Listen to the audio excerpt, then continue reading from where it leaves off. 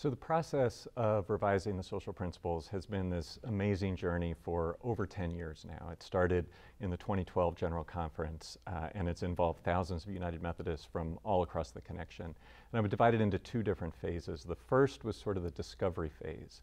So in 2012, the General Conference uh, the General Conference asked church and society to take a look at revising the social principles to see whether they could be um, more succinct and more theologically grounded.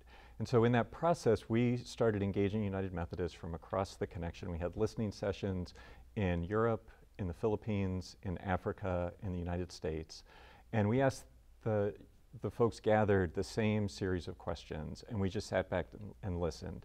And what we learned in that process was that there was a deep appreciation for the social principles as a, a, resource for ministry, that there was a need to make sure that those social principles spoke to the geographic context where there are United Methodists present, and that there was a need to be more precise and more clear in the theological grounding of our social statements. So we brought that back to the 2016 General Conference, and then that launched our, our rewrite phase, our revision phase. In the revision phase, General Conference asked us to uh, give a priority to revising the social principles in 2016.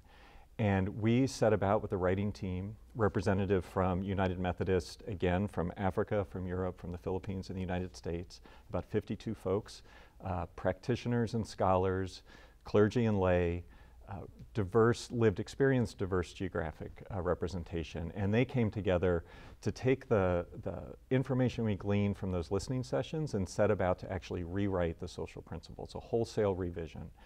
Um, they presented that in 2018 to our board. We then published that uh, for the global audience in the languages of the General Conference uh, did an online survey. We had over 2,500 respondents in the online survey, as well as a series of uh, convenings, public conversations, where another 2,100 United Methodists participated from across the global connection.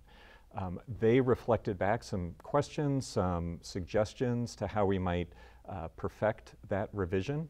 Uh, so the writing team took all of those, synthesized that, uh, brought it into the product which is now in the Daily Christian Advocate. They brought it to our board for adoption and we've submitted it to the General Conference. So this has been just an amazing journey involving so many voices um, in a way that, that we believe really reflects who we are as United Methodists today and gives us a strong social statement for who we are to be as we move forward out of General Conference.